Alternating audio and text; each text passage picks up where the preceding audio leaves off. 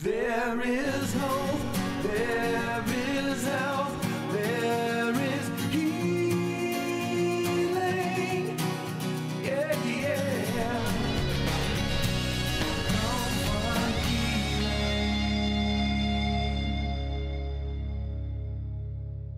Well, here we are again, Rhema Praise. That's it's going to be a great time today. Where you know I'm talking about it's your move, moving from victory to defeat, from Yeah. defeat to victory. Yes. yeah, uh, you know, uh, defeat is not where we as children of God are supposed to live. No. We are supposed to walk in victory, and some people, all they have is a defeatist attitude. I, you know, I don't like to be around somebody that's always talking defeat. Uh, I don't either. I mean, but hey, we have a choice to make. That's right. You can make a choice to be defeated, or you can make a choice and take a step toward God and make a decision to move and do what God told you to do. And, and, and get his victory that he said Yes. belonged us. He said, I want you to have life and have it more abundantly. Well, having abundant life is not a defeatist attitude. No. That's a victorious attitude. In fact, the Apostle Paul said, I always triumphed in, In Christ, Christ Jesus. Jesus. That's right. So, hey, why don't we go right now where I am talking about it's your move, moving from defeat, defeat to, victory. All right.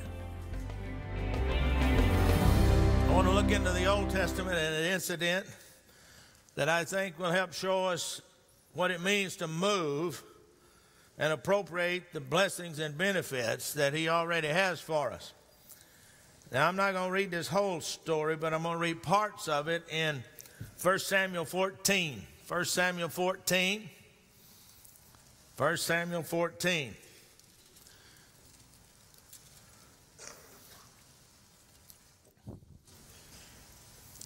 Okay, the people on the front row have found it, so we'll read. One day Jonathan said to his armor bearer, Come, let us go over to where the Philistines have their outposts. But Jonathan did not tell his father what he was doing. Meanwhile, Saul and his 600 men were kept on the outskirts of Geba around the pomegranate tree at Migron. Now look, skip down to verse 6. Let us go across to the outpost of those pagans, Jonathan said to his armor bearer. Perhaps the Lord will help us, for nothing can hinder the Lord. He can win a battle whether he has many warriors or only a few. Do what you think is best, the armor bearer replied. I'm with you completely, whatever you decide. Now I'm reading from the NLT. All right, then, Jonathan told him, we'll cross over and let them see us. If they say to us, stay where you're at, we'll kill you, then we'll stop and not go to them. But if they say, come up and fight, then we will go up. That will be the Lord's sign that he will help us defeat them. When the Philistines saw them coming, they shouted, Look, the Hebrews are crawling out of their holes. Then the men of the outpost shouted to Jonathan, Come up here and we'll teach you a lesson. Come on, climb right behind me, Jonathan said to his armor bearer, for the Lord will help us defeat them. So they climbed up using both hands and feet. And the Philistines fell before Jonathan and his armor bearer, killed the uh, armor bearer, killed those who came behind them. They killed some 20 men in all, and their bodies were scattered all about a half of an acre. Suddenly, panic broke out in the Philistine army, both in the camp and in the field, including even the outposts and the raiding parties. And just then, an earthquake shook, uh, struck, and everyone was terrified. Saul's lookouts in, Gil- in Gibeah of Benjamin saw a strange sight. The vast army of the Philistines began to melt away in every direction. Call the roll and find out who's missing, Saul ordered. And when they checked, they found Jonathan and his armor bearer were gone. Skip down to verse 20. Then Saul and all his men rushed out to, to the battle and found the Philistines killing each other. There was terrible confusion everywhere. Even the Hebrews who had previously gone over to the Philistine ar- army revolted and joined up in with Saul and Jonathan and the rest of the Israelites. Likewise, the men of Israel who were hiding in the hills of Ephraim joined the chase when they saw the Philistines running away. So the Lord saved Israel that day, and the battle continued to rage beyond Bethaven. Now, this is a, an incident that talks about getting a victory. You know, actually, they got a victory from what looked like sure defeat. Now, have you ever, how many of you have ever experienced times when it looked like sure defeat? Well, we got several in the congregation. I have to do raise my hand. Uh, the, let me tell the rest of you if you haven't experienced it, you will. I think more people than raised their hand have experienced what I talked about. God has made a way for us to move out of defeat and appropriate victory. But you know what? You've got to do something about it. It's your move. In this chapter, we find that Jonathan, we find Jonathan's father, that was the king, King Saul, he was sitting under the pomegranate tree in Migron with a defeatist attitude. Saul had 600 men. Didn't have any weapons because the Philistines setting out there with about 30,000 chariots and 6,000 cavalry plus all the infantrymen or the foot soldiers. The Philistines had sent raiding parties and destroyed all the blacksmith shops and killed the blacksmiths and leaving Israel weaponless. And only Saul and his son Jonathan had weapons. Now, there's only about 600 left out of an original force of about 3,000. Some of them, some of them had run off and, and hid, and you heard that when he was reading. Others had said, well, man, we're getting the tar beat out of us. Let's go over here and join. Let's just, just join up with the Philistines. So they, they went and joined with the Philistines. And now, here, the children of Israel are God's people. Now, that's us, okay? I'm going to sort of uh, type this a little bit. Israel was God's people. Well, we're God's people, okay? Now, the Israelites were, are, were I mean, the Philistines were a type of Satan who was always causing problems for, for Israel. So, Satan is like the Philistines was in Israel. If you read in the Old Testament, the Philistines was always a thorn in the side of, the, of Israel, always coming against it. How many ever read that over in the Old Testament? Yeah, some of you have. You need to go read it if you don't. Read the history of Israel. Why do you need to go into the Old Testament and read the history of Israel? Paul tells you in Corinthians, he says that what happened to Israel happens as examples to us. Both the victories and the defeats. The defeats were because they left God out. So it's an example to us not to leave God out. That's another subject, so I'll go on. Okay. Now, here, these Philistines had backed the Jews down, the Israelites. And now here they are, all sitting there in defeat. And that's exactly what the Satan does to us sometimes. He's taking us out of the place of God's blessing. Now, only two people, Jonathan and his armor bearer, had escaped this defeatist attitude, or at least they got to the point that they said, What is the use of sitting around here doing nothing? We're going to be killed anyway. So they decided to do something about it. They moved. You know, that's what the enemy is doing to people today. He's getting them down. He gets them down emotionally, and then he starts working on them spiritually. And if and, and if he can and what happens is people get the defeatist attitude just like the israelites did. And then they just sat down well it's hopeless anyway. Not anything to do about this situation. So they just have thrown up their hands and done nothing and let the enemy run all over them. That's what the Israelites were doing. They were sending, if you read the whole story, they were sending these raiding parties in, and they were coming in and they were taking advantage of them. Now, if you're going to rise above your situation uh, and get victory from defeat, it's your move. It's not God's move. See, God's already done it. Jonathan got up and did something. He said, Why are we here like this when we have Jehovah God on our side? Why are we sitting here allowing ourselves to be taken advantage of when we have Jehovah God? And that's what you need to realize. Why are you sitting there letting the enemy take advantage of you, keeping you in defeat when you've got God's word that tells you that you can make it, you can come from victory to defeat? Why sit there with a defeatist attitude? Let me know what I'm talking about. You know, there are some teams in the sport that they go on the field to play the game saying, well, we can't beat this team. And they can't. Because they were defeated before. There wasn't even no use to play the game. Come on. No use to play the game. You've got to believe you can before you can and then you got to move. You know,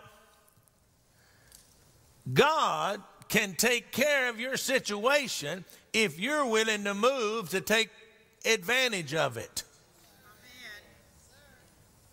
Well, brother, I'm praying for God to do something.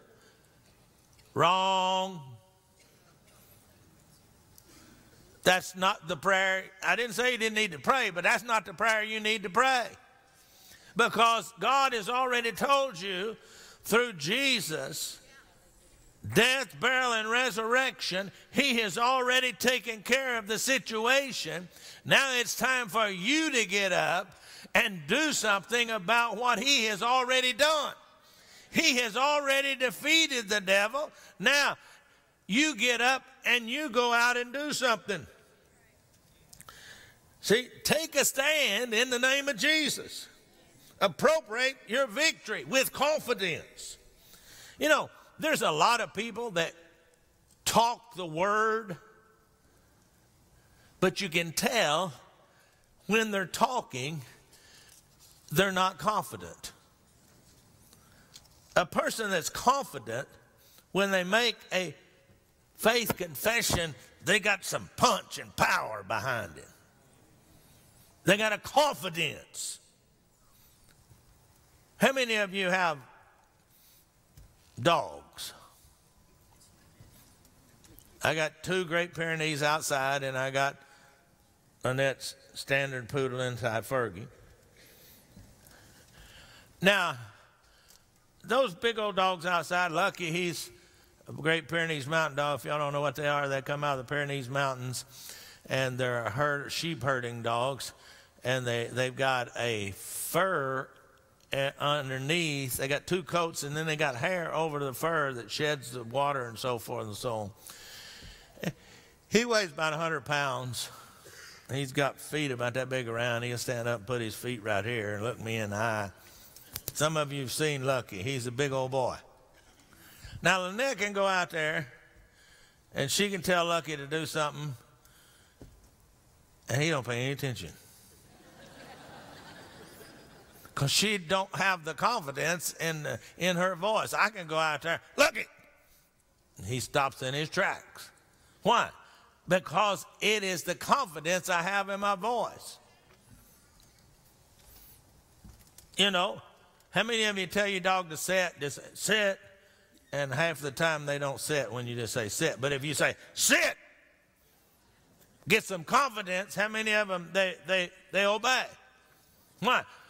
Because they recognize the authority when it has confidence behind it. They do not recognize the authority when there's no confidence behind it. And that's the same thing the devil does. He doesn't recognize the word coming out of your mouth when it doesn't come out with the confidence, knowing that God is going to meet your need. Don't care what you see, what you feel, or anything like that. You have to have a confidence that you're going to do it. You can't just say, No weapon formed against me will prosper. Bible says no weapon formed against me will prosper. The devil ain't gonna pay no attention to that. You got to put your foot down and say, the Bible says no weapon formed against me will prosper. I mean, you got you got to talk like you believe it. How many understand what I'm talking about? See, according to James 4 7, when you when you use authority with confidence, the devil will flee from you. It says, resist the devil and he will flee from you. Flee. Run from is in terror. Flee from the prayer group, the pastor, a group of people praying. No, you, you. My dad used to say to me, he said, son, or Ken, he'd say, listen, you learn how to pray. You learn how to take authority because nobody cares about you like you do. And I know, I know Rich has heard him say that same thing. Craig's heard him say it. Some of you people heard him say that same thing. He said, Hey, you learn to do it because nobody cares about you like you do.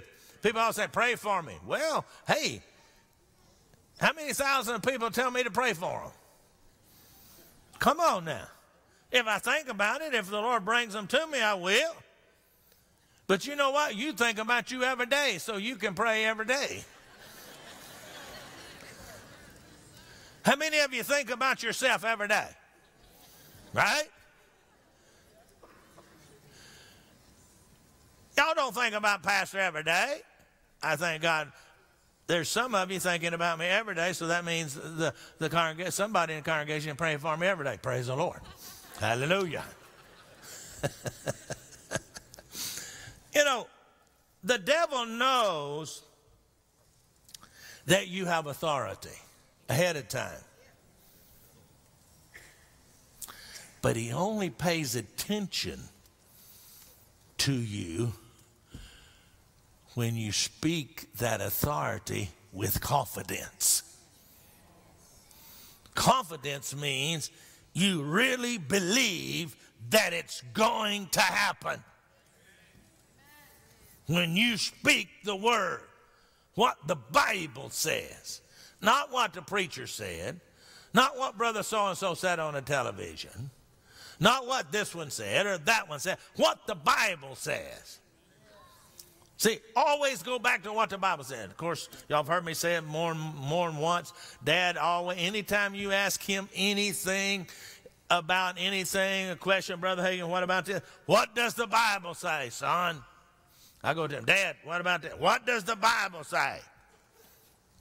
That's where we need to get to. When the enemy brings something to us, what does the Bible say? Not what somebody else said. What did, what did God say? That's the Bible. That's God talking right here. Some people say God never talked to you. Well, if you read your Bible, God talked to you. Because this is God talking. Hold up your Bible. Hold up your iPad, your iPhone, whatever you got. That's got to say, say this. This is God, this is God. Talking, to me. Hallelujah. Glory to God. Anybody getting anything out of this? You know, you cannot face the enemy without confidence. You, if you face the enemy without confidence, you'll be tentative and you won't execute like you should. You know, you got to go out there and line up. I mean, when you're playing ball, you got to go out there and line up, and you got to execute your your assignment with confidence.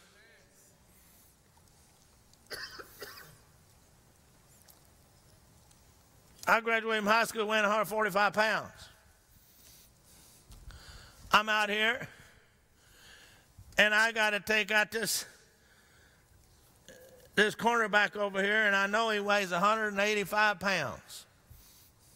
He's got me outweighed over 40 pounds.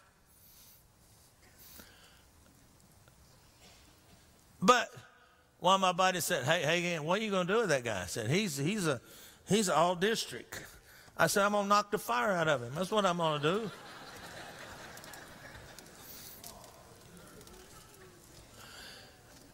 if you don't have that kind of confidence, you will not execute your block perfectly. Because you will go into it, "Oh, I hope I can do this. I think I can. No, you got to go in there knowing you can. That's the same thing you got to do with the Word of God. If you don't go in there with confidence, you will not execute the Word of God with boldness and with confidence to take the enemy out. Anybody understand what I'm saying to you? You got to get that gritty. I don't know the word to use. I mean, that's sort of my, you know, I cannot be defeated and I will not quit. That's that. "Urgh." You got to do the same thing with the Word of God. When you're hitting the enemy, you got to go. "Urgh." I don't know the word to use. I know what I'm talking about. I know what it comes from the it has to come from the inside. Nobody can stop me. The devil can't stop me.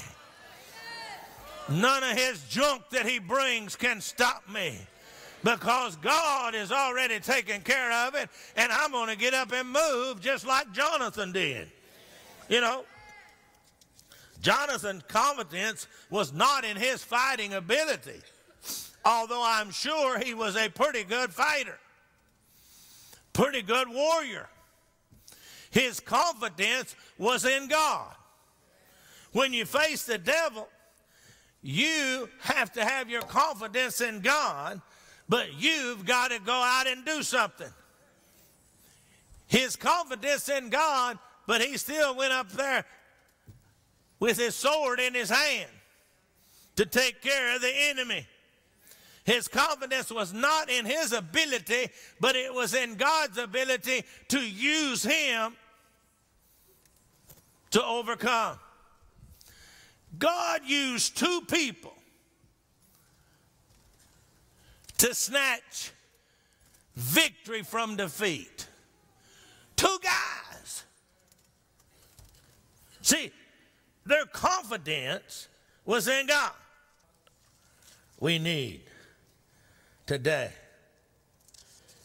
to look at our situation and realize it's not impossible, although it says it is.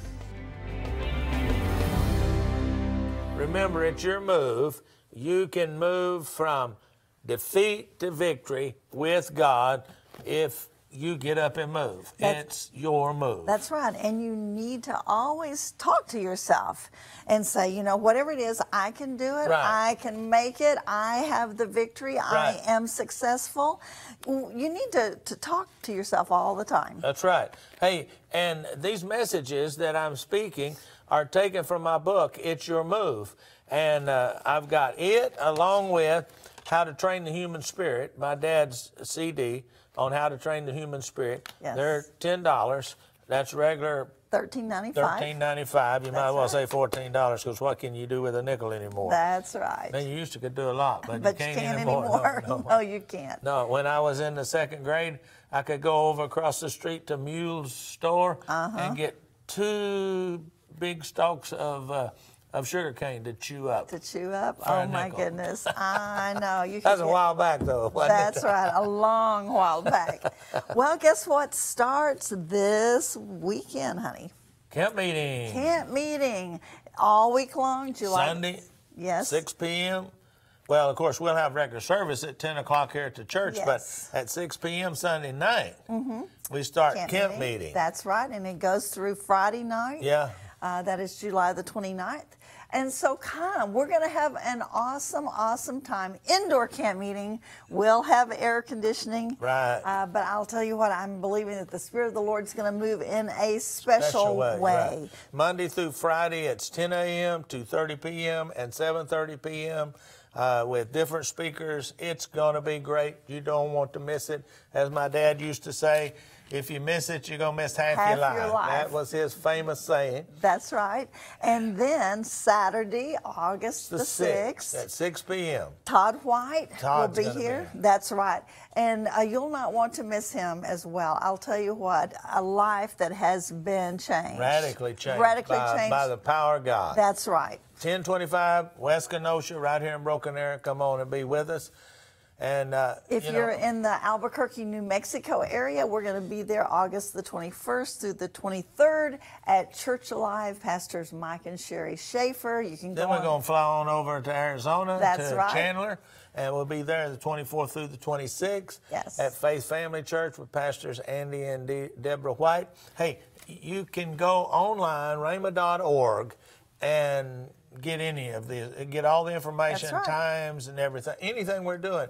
But hey, let me let me remind you that you can go on to rhema.org and you can download podcasts, you can go to archives and get all kinds of things. You can read our Word of Faith magazine. That's right. Uh, just all kinds of stuff. And hey, let me remind you, we're on Roku too. So if you, you can subscribe to our channel That's and right. watch our Sunday morning AM services there. Or And then hey, we, we have an app, yeah, we have an app. Uh, that you- you can go and get there, but uh, you can go online and we stream every Sunday morning, every Sunday night, every Wednesday night.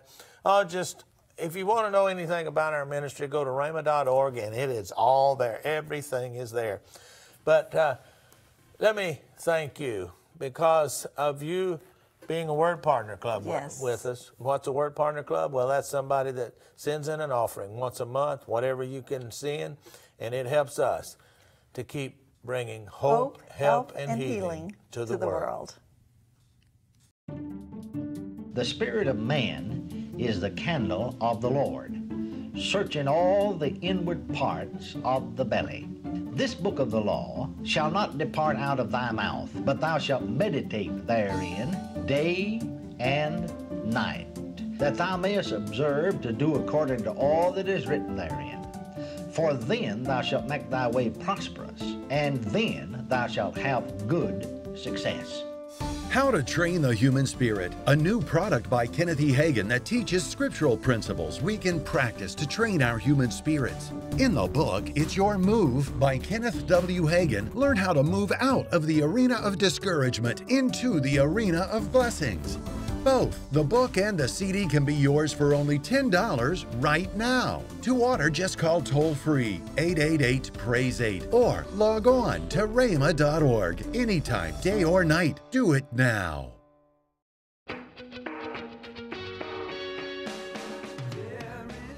Thank you for watching Rhema Praise with Ken and Lynette Hagin. Ken, Lynette, and Rhema Bible Training College are committed to reaching the entire world with the gospel of Jesus Christ and training laborers for the end time harvest. If you have prayer requests or would like more information, please write, call, or visit our website. Thank you for being with us today and for your faithful support. And remember, there is hope, help, and healing for a hurting world.